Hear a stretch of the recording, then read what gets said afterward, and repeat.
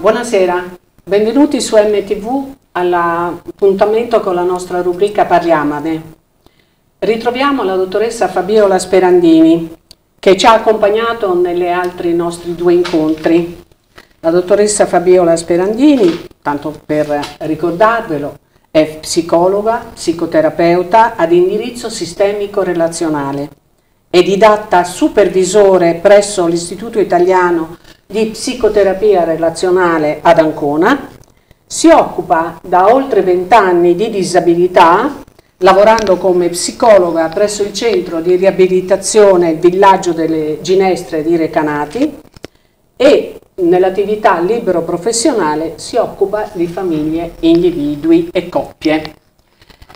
Nelle puntate precedenti, eh, scusate se eh, prendo i fogli, ma sono un po' vecchia, quindi la mia memoria un po' difetta un po'.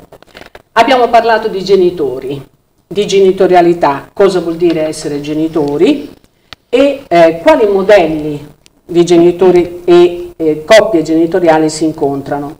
Questa sera parliamo di rispetto dell'altro e eh, cominciamo subito. Intanto buonasera, grazie di essere tornata. Buonasera, buonasera grazie eh, a voi I nostri telespettatori hanno apprezzato molto le sue relazioni, questo ci fa felice anche perché l'argomento, anche se ne parlano tutti, però non è mai, come ho già detto, troppo poco parlarne, viste le emergenze e le difficoltà che noi incontriamo quotidianamente nell'educare i nostri figli.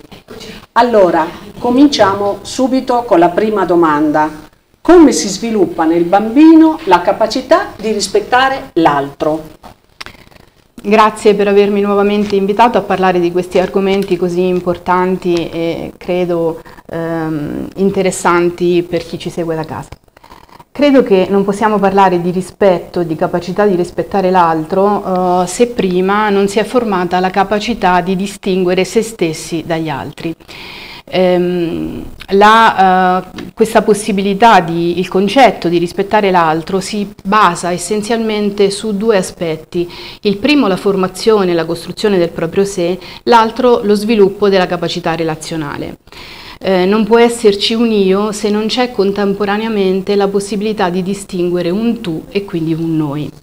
Fin dai primissimi mesi di vita, ma anzi direi fin dai primissimi giorni della vita di un bambino, Egli sperimenta, si sperimenta come un'entità a sé stante attraverso il, il, suo rapporto nella relazione primaria con la figura materna. Questo si esplica attraverso essenzialmente un contatto corporeo fatto di sensazioni eh, veicolate da odori, eh, suoni, carezze, movimenti e il bambino impara che il proprio corpo è finito rispetto al corpo oh, materno. Questa, eh, questo processo di interscambio dove il bambino non è un fruitore passivo, bensì un protagonista attivo, pone le basi per quella che definiamo l'intersoggettività. Um, aggiungerei anche che il coinvolgimento nel, del papà nell'accudimento del bambino e soprattutto l'esperienza delle prime relazioni triadiche, ne abbiamo un po' parlato nelle precedenti puntate, il rapporto mamma, papà, bambino, ehm, aiuti eh, il piccolo ad arricchire le sue prime embrionali esperienze relazionali. Questo favorisce lo sviluppo della mh, differenziazione e dell'individuazione del sé. Ovviamente con il procedere delle tappe dello sviluppo il bambino non, non, utilizzerà più soltanto il suo corpo, il movimento e gli aspetti senso-percettivi per entrare in relazione con l'altro, ma lo farà anche attraverso lo sviluppo degli aspetti del linguaggio sia verbale che non verbale. Ecco, eh, le, le, relazioni interpersonali che poi eh, il bambino sviluppa nell'ambiente extrafamiliare gli consentiranno di eh, ampliare le sue occasioni di confronto, favorendo così una successiva maturazione del sé. Confrontandosi con gli altri il bambino imparerà a tollerare le differenze, imparerà e svilupperà la capacità di ascoltare punti di vista che non sono eh, quello proprio e in una parola soltanto limiterà il suo senso di onnipotenza e l'egocentrismo che caratterizza i primi anni di vita. Eh, sono d'accordo, cioè è così che dovrebbe essere se c'è anche una coppia genitoriale che segue questo percorso, no? accompagna alla crescita il bambino. Parliamo anche quando i bambini diventano anche dei ragazzi. Il rispetto e la, e la, mancanza di rispetto nei ragazzi riguarda solo l'altro o ha a che fare anche con se stessi? Eh, questa è una domanda interessante e un quesito che pone l'attenzione su tanti fatti di cronaca. Negli ultimi anni il disagio adolescenziale, quello che mh, siamo abituati a concepire, a vedere espresso attraverso la rabbia e eh, l'attacco all'altro, eh, ha riempito i fatti di cronaca. Mm, ci siamo abituati ad avere l'attenzione richiamata dalle azioni eh, fatte, seguite dalle baby gang, eh, gli atti di bullismo, il cyberbullismo. Quello che tuttavia le cronache non dicono o dicono molto poco, raccontano molto poco, sono tutti quegli episodi in cui l'adolescente in realtà passa ad esprimere il suo disagio non tanto eh, esprimendo la rabbia nei confronti dell'altro, ma riversandola verso se stesso. Penso ad esempio all'incremento dell'abuso precoce delle sostanze da parte dei ragazzini anche molto giovani, all'aumento nei disturbi della condotta alimentare, al ritiro sociale che dopo il Covid ha avuto particolare espressione, sì. ma anche alle forme di autolesionismo. Penso ad esempio al tagliarsi, che purtroppo, Cutting, sì. Sì, che purtroppo mm. è una pratica molto diffusa tra i giovani, i giovani e i giovanissimi e non ultimo, purtroppo nella sua espressione massima, penso al suicidio giovanile. Ecco, tutte queste espressioni riguardano un far del male non tanto all'altro quanto a se stessi. Credo che, credo che Uh, senza voler generalizzare ovviamente, considerando che ogni caso è un caso a sé, questo lo voglio ribadire e sottolineare, nonostante questo credo che dovremmo molto interrogarci su quelli che sono gli adulti attorno a questi ragazzi e quanto la fragilità di una generazione come quella degli adulti che oggi si occupano di educazione e di relazione genitoriale attraversano. Eh, una fragilità che, un po' come abbiamo anticipato nelle puntate precedenti, rende gli adulti particolarmente inclini a valutare e a spingere i ragazzi verso il successo, verso la competizione, verso le performance e poco li allenano sul piano dell'emotività, dell'affettività, ma anche del confine, del limite, della tolleranza alla frustrazione. Ecco, quando una relazione genitoriale coniuga scarsamente affettività e norma, Um, quando la spinta è quella a um, mantenere una dipendenza psicologica piuttosto che puntare all'autonomia e allo svincolo, ricordiamoci come abbiamo già anticipato che questo è il compito evolutivo a cui un genitore deve puntare nel momento in cui un figlio diventa adolescente. Ecco, quando tutto questo non accade, il giovane rischia di sentirsi smarrito, privo di un contesto di riferimento.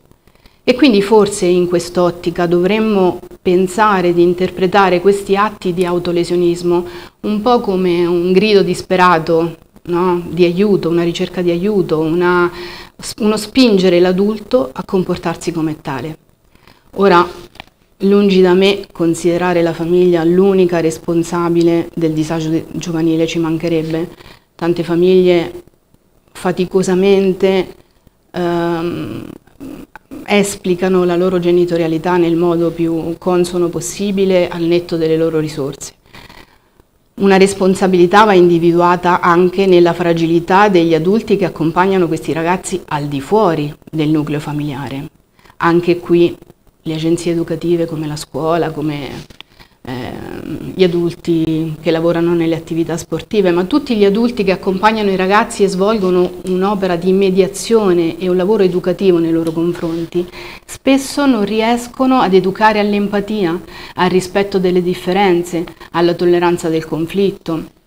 No?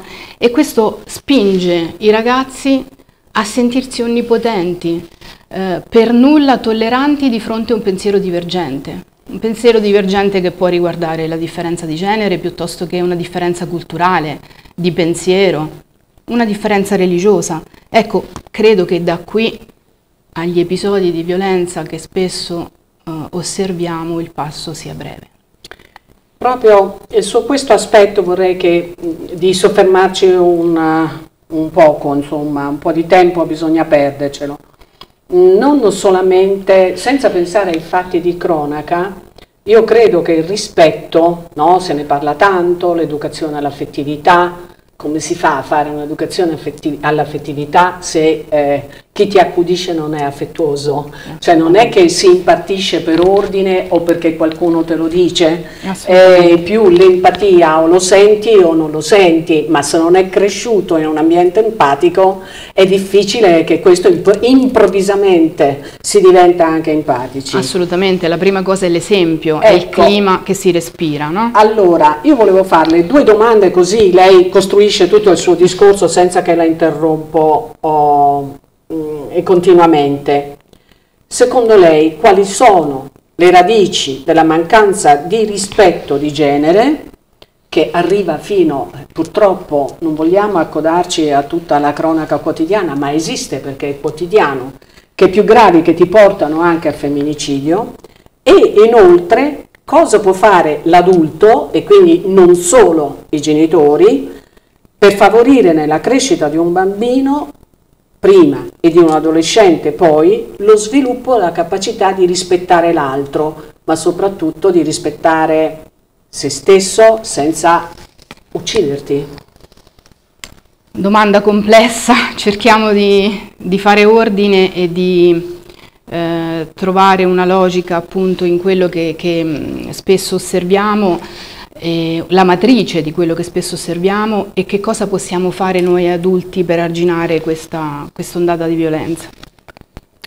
Innanzitutto direi che al netto delle singole responsabilità eh, di ogni fatto di cronaca per cui ogni colpevole risponde individualmente per le azioni commesse e senza entrare nello specifico perché credo che no, ogni fatto vada mh, raccontato ed analizzato sulla base di una conoscenza diretta e non semplicemente leggendo i giornali. Ecco, credo che alla base della violenza di genere e quindi anche del, del, femminicidio ci sia una matrice multidimensionale. Non possiamo rintracciare una causa univoca, ma più fattori. Da un lato sicuramente una, uh, un fattore culturale, un substrato maschilista che per fortuna non rappresenta la cultura dominante di questo paese, ma tuttavia è ancora diffusa. Non tutti gli uomini, viva Dio, sono uh, violenti, ma esistono uomini che concepiscono le relazioni nei confronti della donna come relazioni di potere. Uh, una um, cultura maschilista che si esplica attraverso una non parità di genere, lo vediamo attraverso uh, le difficoltà um, occupazionali delle donne, le difficoltà di ricoprire ruoli di potere, di avere un'indipendenza economica, eh, delle differenze legate a compiti e ruoli che sono differenze legate a stereotipi e pregiudizi che ci trasciniamo dietro di generazioni in generazioni. Credo che l'uomo di fronte all'emancipazione femminile degli ultimi 50, 60, 70 anni non sia ehm, pronto a vedere una donna eh, consapevole, ehm, una donna eh, appunto emancipata e in grado di ricoprire alla pari i ruoli che fino a qualche decennio fa ricopriva in maniera indiscussa la figura maschile e risponde a questa emancipazione purtroppo, purtroppo con una prevaricazione che passa attraverso la forza, l'utilizzo della forza e della violenza. E quindi questo è un primo fattore, il fattore culturale. Poi ovviamente un fattore relazionale. Um, quando parliamo di relazioni, um, um, le relazioni di uomini che compiono atti di violenza, violenza, grave o meno grave, fino ad arrivare al femminicidio, sono relazioni caratterizzate non da una parità, no? ma da un aspetto, direi quasi una concezione fusionale dell'uomo che concepisce la donna come oggetto d'amore. E dunque eh, l'uomo incapace di reggere alla frustrazione dell'abbandono. Di fronte a questo abbandono ri si ripristina no? di nuovo il dominio eh, esercitando questa, questa, forma di potere estremo con la forza fino addirittura ehm, all'uccisione, come a dire né con me né senza di me, non sarai mia ma non sarai nemmeno di nessun altro.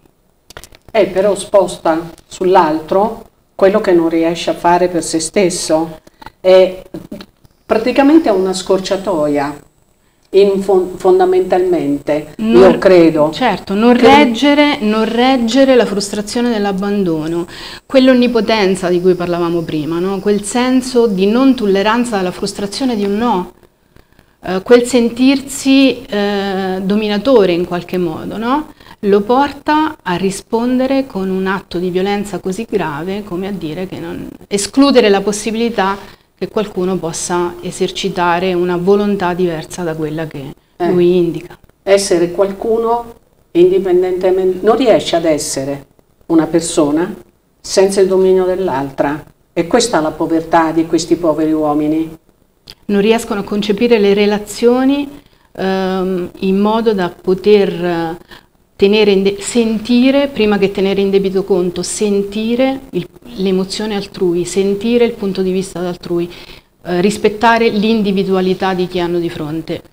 Eh, purtroppo è la mancanza di empatia, no? Il discorso della reciprocità, l'amore è reciproco, dovrebbe essere reciproco. Comunque, ecco, questo, no, no, que, anzi la ringrazio perché questo, questo, suo riferimento alla reciprocità ci riporta all'ultimo fattore, a mio avviso, alla base di quelli che possono essere eh, gli elementi che costituiscono questa multidimensionalità alla base della violenza contro la donna, cioè il modello educativo e eh, familiare che spesso questi uomini respirano. No?